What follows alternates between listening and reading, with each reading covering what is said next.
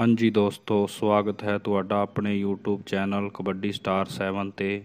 ਗੱਲ ਕਰਦੇ ਹਾਂ ਅੱਜ ਦੇ ਕਬੱਡੀ ਕੱਪਾਂ ਦੇ ਬਾਰੇ। ਜੇਕਰ ਤੁਸੀਂ ਸਾਡੇ ਚੈਨਲ ਤੇ ਨਵੇਂ ਹੋ ਤਾਂ ਸਾਡੇ ਚੈਨਲ ਨੂੰ ਸਬਸਕ੍ਰਾਈਬ ਕਰੋ।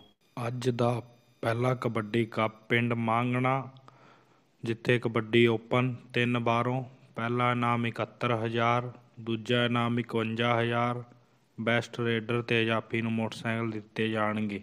ਅਗਲਾ ਮੈਚ ਪਿੰਡ ਤੱਲਣ ਜਿੱਥੇ ਕਬੱਡੀ ਆਲ ਓਪਨ ਦੇ ਚਾਰ ਕਲੱਬ ਖੇਡਣਗੇ।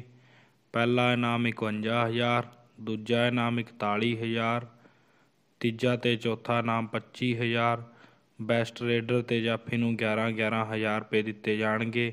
ਇੱਥੇ ਪਹਿਲਾ ਕਲੱਬ ਹੈ royal king U S A, ਦੂਜਾ ਕਲੱਬ ਹੈ ਬੀਬੀਐਸ ਕਬੱਡੀ ਕਲੱਬ ਰੁੜਕਾ, ਤੀਜਾ ਕਲੱਬ ਹੈ ਬੇ ਆਫ ਪਲੰਟੀ ਨਿਊਜ਼ੀਲੈਂਡ ਤੇ ਚੌਥਾ ਕਲੱਬ ਹੈ ਬਾਬਾ ਬ੍ਰਹਮਦਾਸ ਕਬੱਡੀ ਕਲੱਬ ਢਿਲਵਾਂ। ਅਗਲਾ ਮੈਚ ਹੈ ਪਿੰਡ ਗੁਮਟੀ ਕਲਾਂ, ਜ਼ਿਲ੍ਹਾ ਬਠਿੰਡਾ, ਜਿੱਥੇ ਕਬੱਡੀ ਓਪਨ ਤਿੰਨ ਬਾਹਰੋਂ, ਪਹਿਲਾ ਇਨਾਮ 61000 ਦੂਜਾ ਇਨਾਮ 51000 ਬੈਸਟ ਰੇਡਰ ਤੇ ਜਾਫੀ ਨੂੰ 22 22000 ਰੁਪਏ ਦਿੱਤੇ ਜਾਣਗੇ। ਅਗਲਾ ਮੈਚ ਹੈ ਪਿੰਡ ਨਾਨਕਪੁਰ, ਜ਼ਿਲ੍ਹਾ ਸਰਸਾ, ਜਿੱਥੇ ਕਬੱਡੀ ਓਪਨ ਤਿੰਨ ਬਾਹਰੋਂ, ਪਹਿਲਾ ਇਨਾਮ 31000 ਦੂਜਾ ਇਨਾਮ 21000 ਬੈਸਟ ਰੇਡਰ ਤੇ ਜਾਫੀ ਨੂੰ 21 2100 ਰੁਪਏ ਦਿੱਤੇ ਜਾਣਗੇ।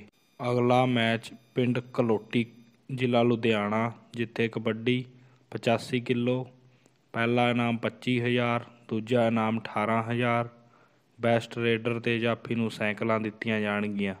ਅਗਲਾ ਮੈਚ ਹੈ ਪਿੰਡ ਝੋਰੜ ਰੋਈ, ਜ਼ਿਲ੍ਹਾ ਸਰਸਾ, ਜਿੱਥੇ ਕਬੱਡੀ 65 ਕਿਲੋ, ਪਹਿਲਾ ਇਨਾਮ 12000 ਦੂਜਾ ਇਨਾਮ 7000 ਬੈਸਟ ਰੇਡਰ ਤੇ ਜਾਫੀ ਨੂੰ ਜੂਸਰ ਦਿੱਤੇ ਜਾਣਗੇ।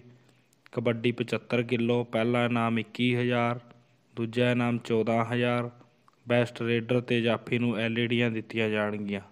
ਅਗਲਾ ਮੈਚ ਪਿੰਡ ਰਾਮੂਵਾਲਾ ਕਲਾਂ, ਜਿੱਥੇ ਕਬੱਡੀ 45 ਕਿਲੋ, ਪਹਿਲਾ ਇਨਾਮ 6100 ਦੂਜਾ ਇਨਾਮ 5100 ਬੈਸਟ ਰੇਡਰ ਤੇ ਜਾਫੀ ਨੂੰ ਕੱਪ ਦਿੱਤੇ ਜਾਣਗੇ।